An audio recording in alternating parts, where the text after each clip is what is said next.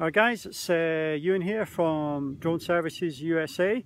Uh, ignore the fact that I'm in Switzerland, that's, we'll just gloss over that for the moment. But, uh, basically, having a bit of fun here in the Skunk Works. Uh, I've seen a few guys recently posting in the group with attaching spotlights and search uh, little handheld lights to their Inspires and their Phantoms and stuff like this. Seen a couple of guys have come up with 100 watt units uh, building these things and putting them into good use. Sorry to say guys, kind of brought a knife to a gunfight on this occasion because let me show you what we've got in the Skunk Works.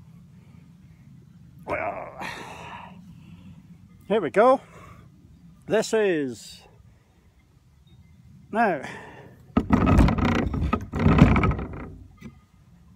that's a spotlight 215 watts 14,000 lumen, 9 amp draw, and you're going to need a big heavy lift to, to pull this one because it weighs 6 kilos.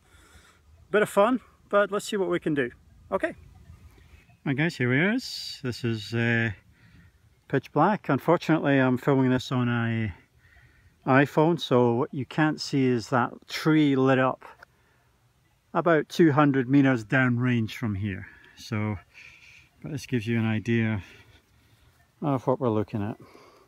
So, yeah, we've got some uh, huge amount of spotlight on the front here. So what I'm going to try and do is I'm going to try and put the phone down. I'm going to try and uh, see if I can get the thing up in the air and uh, see if you can see any shots with it. Okay.